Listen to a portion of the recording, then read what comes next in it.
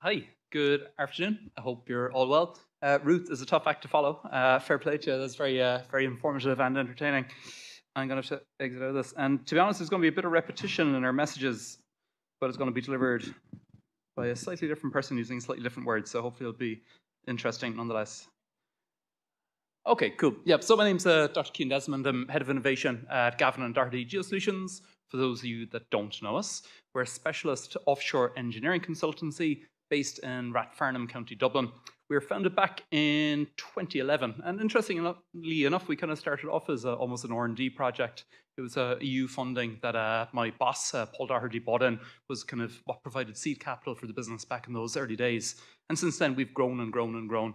Um, so to date, since 2011, we've been involved in 40 gigawatts of offshore wind energy projects in 12 different countries around the world. And at the moment, we hire about 160 staff. Started off with a team of five, up to 160 in a period of what, just over 10 years. So it's pretty uh, massive growth. So we've got a real multidisciplinary team. So we started off primarily with geotechnical engineers, and that's still the kind of uh, the core of the business and what we offer. But over the whatever 11, 12 years and uh, 40 gigawatts of projects, we expanded out the offering that we have. So geotechnical engineers, structural engineers, environmental scientists, energy engineers, economists, marine biologists, social scientists. So it's this lovely multidisciplinary team, and we all work together to support the sustainable design and development, primarily of offshore wind. Um, but 80% of our business is in the offshore wind energy game, and about 20% is uh, everything else. So my job is head of innovation, um, which is a great title, which I, I love having. uh, but what do I actually do? Um, so look, the, the, the, role entails working across the GDG portfolio. So we've got about eight different uh, service sectors within the company. And what I do is I deal with all the service sectors. Every um, year, I have a meeting with the lead of each service sector, and I say to them, right, who's your current clients? What services do you offer them? Who do you expect your clients to be in five, ten years down the line? What services do you expect to be offering them? And with that conversation, then I've got a roadmap for my R&D um, operations throughout the year. So across the GDG portfolio to ensure we have the knowledge, connections, and expertise to meet the future needs of our customers. That's what the job's all about. At the moment, I got about 40 active R&D engagements. So this is everything from a big um, Horizon 2020 project, an SEAI project, maybe an Interreg project, maybe a, a fellowship where we've got a, a, student working with us for a couple of months, maybe just a small internal funded research project. All told, got about 40 active R&D engagements at the moment. I have got 15 PhD students, five senior researchers. If we were a university, they'd be called postdocs, and about 50 part-time staff in 2021. So in 2021, about 50 members of the GDG staff had the opportunity to work in an R&D project. And that's what we try to facilitate, give everyone a chance to get stuck into R&D. And uh, yeah, offering that service is something that I'm, I'm very proud of being able to achieve. We, our research, our 40 um, research engagements are divided into eight what I call research clusters. I won't go into all these in detail because we'd be here a long time, although it'd be fun. Everyone would enjoy it, I'm sure. um, so the, the research clusters that we have is a floating wind design, advanced fixed wind design, drone services, advanced offshore site characterization, geothermal energy, sustainability, green hydrogen, and climate adaptation. So there's a whole pile of work going on. Each of these would have somewhere between three and six um, R&D engagements going on at any one time. Previous to being in GDG, I was in MaREI, so that's Ireland's uh, National Centre for Energy, Climate and Marine uh, Research. Was there for six years, uh, highly active in uh, mostly EU um, funding acquisition for the six years I was there. Previous that is in Loughborough University in the UK, uh, where I started my first R&D project back in 2010. So similar enough kind of timeline to Ruth. Uh, so yeah, I, I, also have the scars to, to prove the, the, the long journey in the R&D game. So look, I've been working in R&D for about 13 years. I'm going to try and give you the benefit of it in just 13 minutes. Isn't that exciting?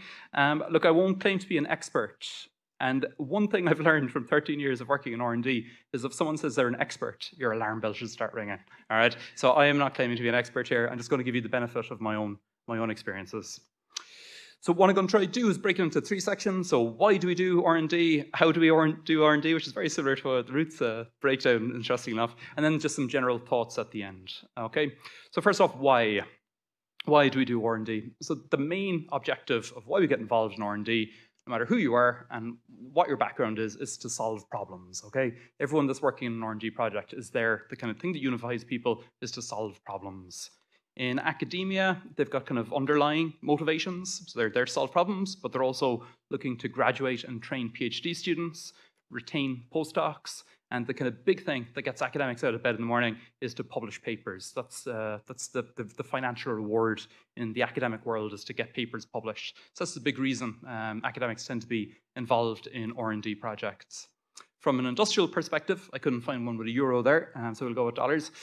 From an industrial perspective, it's slightly different. It's, it's about accelerating growth. So you're there to solve the problems that have been set out by the, the, the funding agency, but your kind of underlying reason is to accelerate growth within the company. The way I kind of visualize a company uh, is, is like this. It looks like a little bit of a, a petri dish, perhaps, with a different uh, service offerings or bacteria inside in that uh, in that petri dish. Not to not to kind of completely murder the analogy.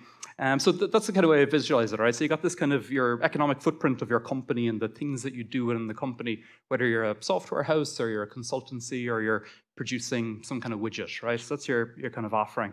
And then what tends to happen, and what happened with GDG, is you got one service offering, and then your client starts saying, hey, could you do this? And you go, yeah, you know, we could do that. So you start doing it, and then that grows itself, and then it maybe gets bigger and it splits into two separate service offerings, right? So that's kind of the way it's tended to work with us in GDG. An example there would be we were doing a whole pile of ground modeling. Uh, so taking geophysical and geotechnical data from offshore surveys and turning it into a numerical representation of the structure of the seabed.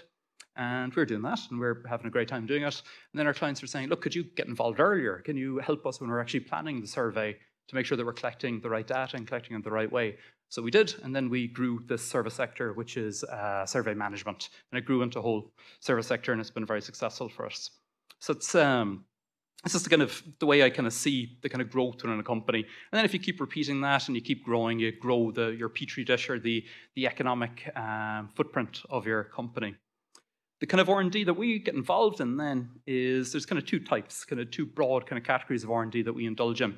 Uh, the first one is where, where we are refining our existing offering. So we're doing something, we get involved in R&D so we can do it better. All right, good example here, one of my colleagues, one of my PhD students, uh, David Boyd, who are partnering with Queen's University Belfast. Uh, really smart guy. What David's doing is we are, we've been doing some work previously in GDG where uh, wind farms are coming to the end of their lifetime and people are trying to decide what should we do with it. It's, it's 25, 30 years old, what happens next? Broadly speaking, your options are uh, decommission, repower, or extend, and it's a kind of, there's a, a, framework, well, we're developing a framework, in fact, to come to the, uh, to the resolution of that question. What David's doing is using artificial intelligence and machine learning. So taking all the SCADA data that you have over the 25, 30 year lifetime of the, of the project and using machine learning to try and get some insight into the remaining useful operational life within that turbine. So please God, he'll be successful, I have no doubt, he's a great guy, and hopefully that will become uh, an expanded service offering that we have within the company. The other type we get involved in is where you, and this is the real beauty, or the, the for me anyway, where the real kind of power of R&D and the real reward for being involved in it comes from, where it's kind of doing something that's slightly outside of your, your petri dish, right? um, where so an example here. Um, so we recently drew down some funding from the SEAI, in fact. Um, and what is building on was that we've done lots of work in green hydrogen. So we've been doing lots of research and uh, consultancy work in the area of green hydrogen. We've also been doing lots of research and consultancy work in the area of port infrastructure development. So if we know about green hydrogen and we know about port infrastructure development, we bring something together here where we're looking at future fuels for, um, for seagoing vessels. So we partnered up with our uh, friends in MaREI. So we got close collaborative links with uh, Jerry Murphy's group down in MaREI. We got this lovely three-year project, budget of about 600k, where we're looking at uh, future fuels for uh, the shipping industry. So it's drawing on our hydrogen expertise, it's drawing on our uh, knowledge of port infrastructure, it's leveraging those close connections with the academics, and it's building essentially what will be a new service offering for us. I'm hoping it's going to be very successful, and then we'll get to get a bigger petri dish. Right, so it's the two types of research projects that we tend to get involved in. So developing a new offering and refining an existing offering. What I and what I see it as is this real uh, catalyst for existing growth. But I think I've underlined existing there. I think it's absolutely critical that you aren't completely dependent on funding, that you've got organic growth happening already, and then you can get a little injection of R&D funding, which acts as an extremely powerful catalyst. But you have to have that uh, underlying organic growth, in my opinion. We can maybe tease that out a bit later. And I'll touch on some reasons for that a bit later on. So that's it. So you got the academics who are graduating waiting their PhDs, retaining their postdocs and publishing papers, and then industry that are looking to accelerate growth. But the thing is, you need to collaborate together, right? Uh, none of these things happen in a vacuum. It's very, very rare you'd have a project that's completely industry-led. There's usually some uh, collaboration happening with the academics. Um, a kind of added benefit then is all the PhDs and all the postdocs are going to be looking for jobs at the end of it. So there's a great opportunity to build those relationships and recruit um, from the academic institutions. And you're not poaching staff here. That's how it works. That's what uh, universities are set up to do, is to grow the next uh, pot of talent, make sure they've got uh, saleable skills and let them move over into industry. So it's very rewarding in that regard. So how do you do it? I'm going to drink some water.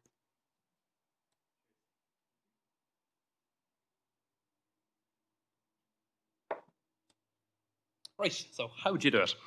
So you need to look at yourself first, right? So don't go looking out there and see what's going on in the world and what funding opportunities there are. Just kind of look internally, right? And see where you are at the moment, what your current service offering is, and where you want to get to, where you want to be five, ten years down the line, all right? And then you got to start bridging the gap with these scopes. So scope one, scope two, scope three, scope four, whatever it takes to get from where you are to where you want to be. Those scopes could be anything. It could be staff that you need to be recruit. It needs to be it could be software that you need to acquire and get trained up on. It could be processes that you need to define internally. It could be tools that you need to develop. It's going to vary massively depending on what type of area you're working in. Once you have looked internally and you understand what your needs are, then I'd start going out and seeing what the, the funding landscape looks like. National funding, we are blessed in Ireland. There, there's an incredible funding landscape. In, in the job that I have at the moment, I'm uh, fortunate that I get to work across multiple jurisdictions um, Australia, Netherlands, USA, UK, France. And really, uh, what we've got in Ireland, it's, it's a much richer uh, funding landscape than are the countries that uh, we've been operating in. So obviously, top of the list, you can't beat them, SEAI, right up there. so these are the ones that I tend to go for. So this is in the energy space and the offshore energy space. So it's kind of, you know, my experience, and I'm sure Ruth would have other pots that she'd be going for. So the SEAI, the EPA, the Marine Institute, uh, GSI, Enterprise Ireland, and SFI. So go look at them, and you got to work out which is the best fit for your ideas. Um, you got to understand the motivations of the funders. All of these funders have got different reasons why they're giving away primarily taxpayers' money. So the SEAI, very simple, they're trying to save the planet using renewable energies. It's nice and easy to understand their remit. Um, the Marine Institute, they're promoting um, excellence in uh, marine research. GSI promoting excellence in geosciences. Uh, Enterprise Ireland are trying to sell stuff to people, to be crass about it, and uh, then uh, SFI are kind of doing a bit of everything, you know. So it's just understand uh, what the motivations are of the different funders.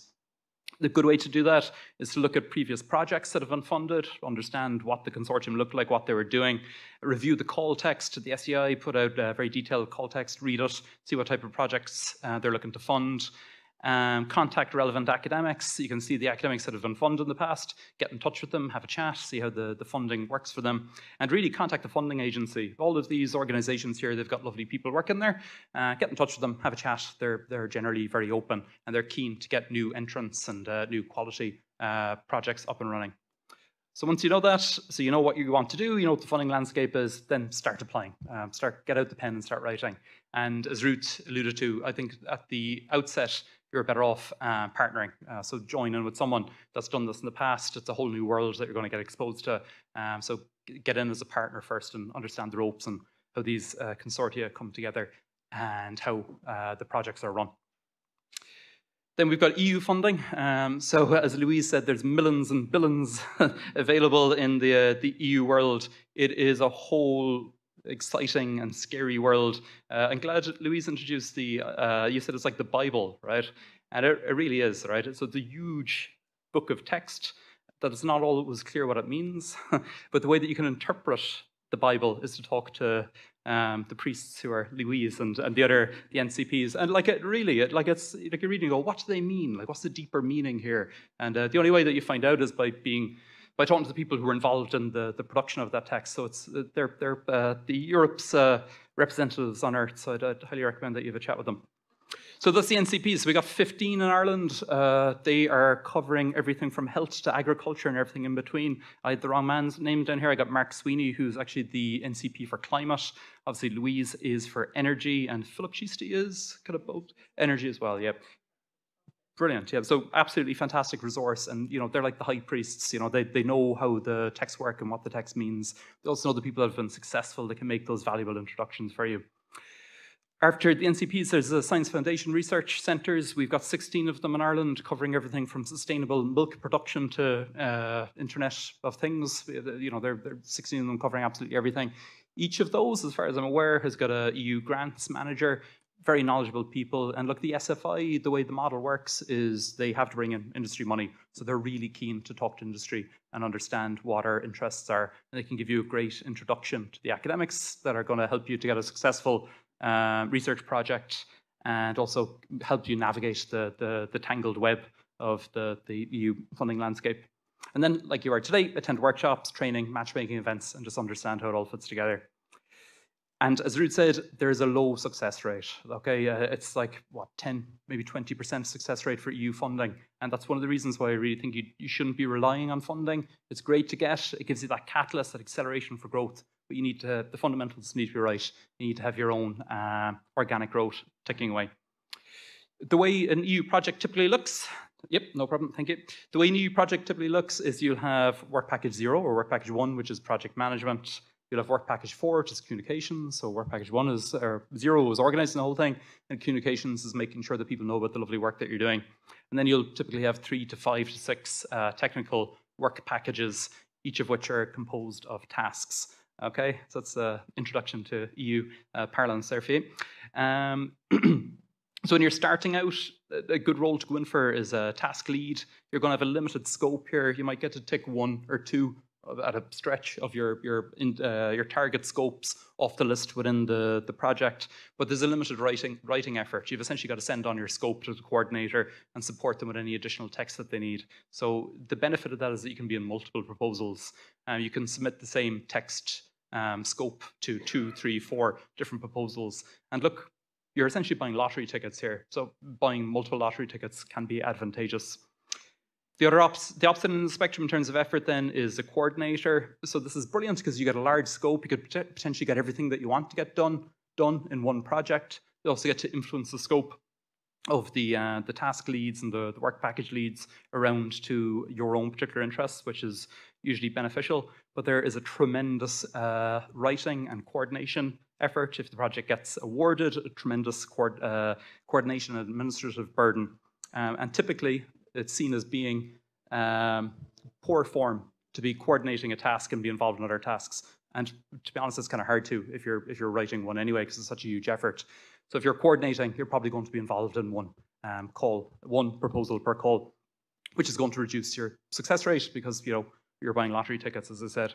And then a work package lead is kind of maybe the happy medium and fits in there um, somewhere in the middle. And look, it's like a peloton, right? You got all these uh, people with their different jerseys, all kind of racing towards get the, the research funding in. Um, the person up the front is breaking through the wind, they're putting in their hard yards. The people at the back are just maybe coasting along. But what I would strongly encourage is to take the opportunity to get up the front. All right, that's what we did in MaREI, it's what we did in GDG. So obviously you got to work out how the whole thing works from a funding landscape and from a project management perspective. But when an opportunity comes up to lead, I would highly recommend that you, you grab that opportunity. Um, even if you don't get the funding, but you bring together a really strong proposal, you're going to get a name, you're going to get a reputation. I think uh, Irish people in particular were, were, were good communicators, were good networkers, right? And uh, I think, the, the, in my experience, a project that's coordinated by someone from Ireland, it, it tends to go well, and it tends to people tend to get on quite well. And that echoes what Louise was saying previously. So I'd highly recommend get in there, give it your all, blast through the, the wind and, and break the wind for the, the people riding in your wake.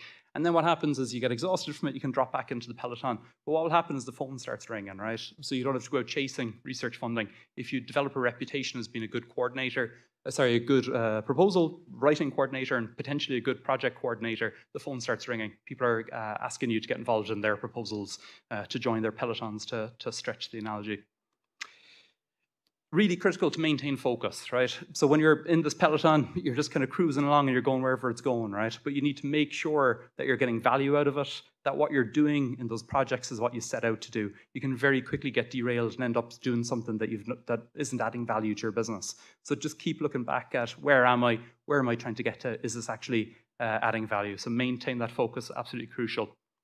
One thing to be aware of as your company grows, your funding rate goes down, as we, as we saw earlier on. That's just the way it works uh, because of the EU rules and regulations, right? Your funding level starts dropping down the bigger your organization gets. And your overheads as a business start going up. If you've got two people in the office, you've got a low overhead. If you've got 150, you've got quite a high overhead, right? So what that can mean is if there's a 65% with 25% effective funding rate, depending on what the overheads of your business are, you might actually be down at a 40% effective funding rate. So you just really need to keep an eye on that bottom line and see if it does make sense for you to continue your journey in the R&D landscape. And like what we ask ourselves as a question, could it be faster and cheaper to fund this internally?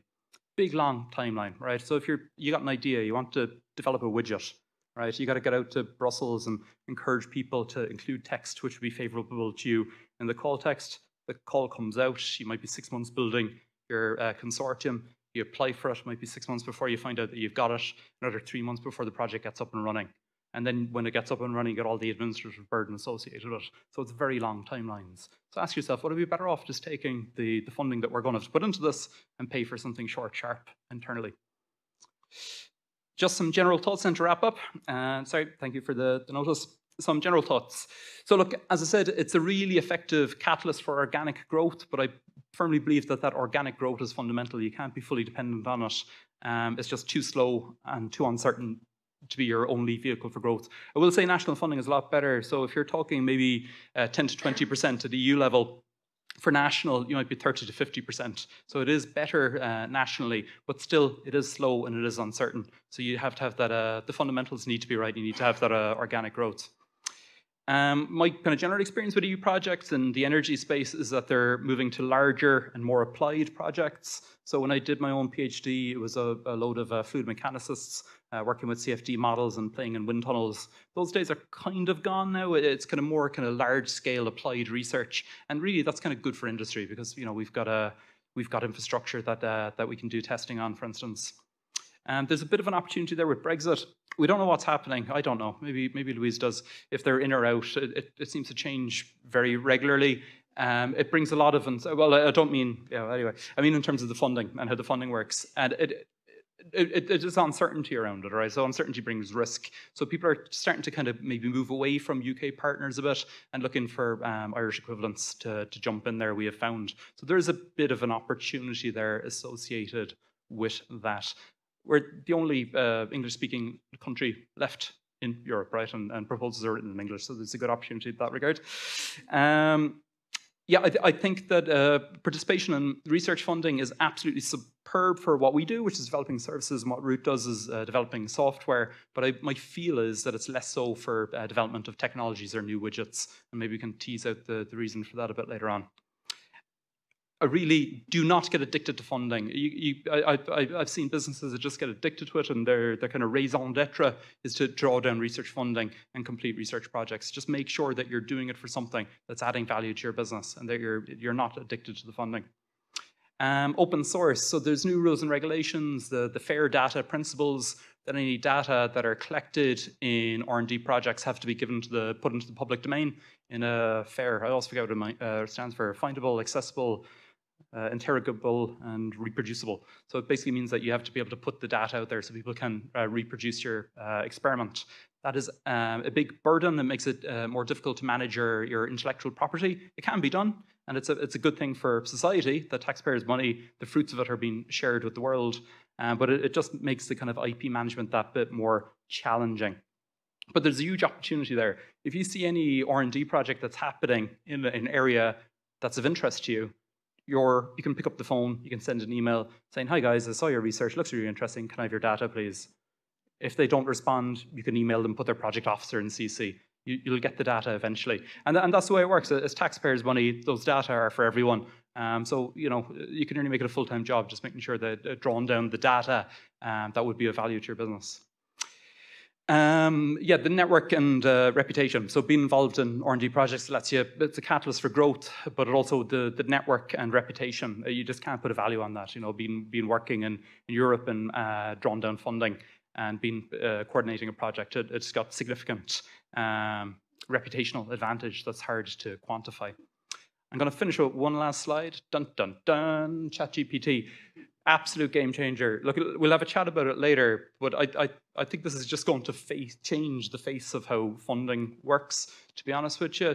Um, so look, I've been involved in writing research proposals for over 10 years now. And when I saw this coming out, I was like, yeah, right, a computer can't do what I do. Um, but I gave it a go, and it's it's phenomenal. Uh, so we drew down some funding from the EPA last year, uh, which was to do with the reuse of construction demolition wastes as uh, raw materials for, for construction projects. Really lovely project we're very excited about. It took me, and one of my senior researchers, a lot of time to write that text. Uh, we were working on it for weeks, and then I said, "Jesus, I wonder how ChatGPT would get on." So I just, we'd already won the funding at this stage, so I threw the text in, and the, the response that came back was frightening. And honestly, uh, it's no joke. Uh, like within with a day of effort, you could get to about 80% of where you need to be in terms of the proposal text, uh, which is usually a week's, um, which is usually takes weeks. So it is going to change the the face of R&D funding. I don't know what it's going to change it to look like, uh, but it's uh, certainly interesting. Um, thank you.